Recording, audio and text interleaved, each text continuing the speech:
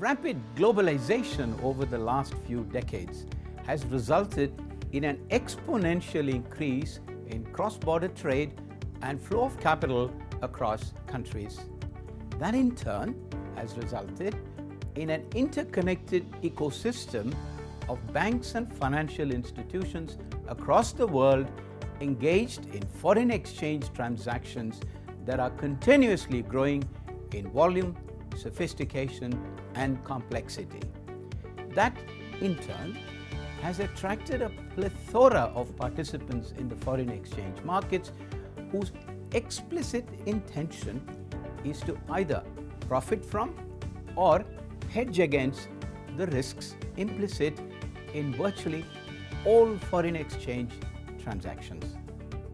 Hello, my name is PC Narayan.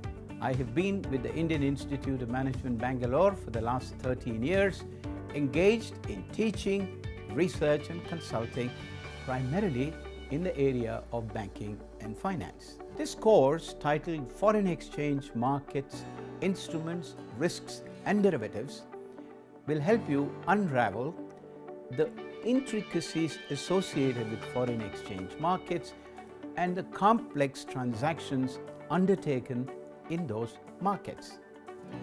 So what can you expect to learn in this course? Well, firstly, the theories governing foreign exchange such as interest rate parity, purchasing power parity, nominal versus real exchange rates, etc. Transactions traded in the foreign exchange markets such as spots, forwards, swaps, etc. How are exchange rates quoted? Who are the participants in the foreign exchange market? Why and how do central banks intervene in the foreign exchange markets? The nature and type of risks encountered in the foreign exchange markets, such as transaction exposure, operating exposure, translation exposure, and so on.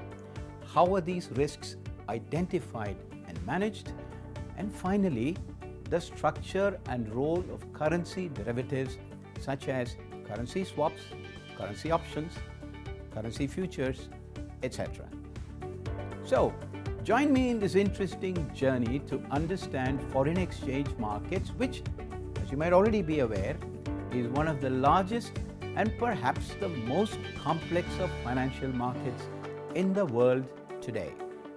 I look forward to seeing you in the course.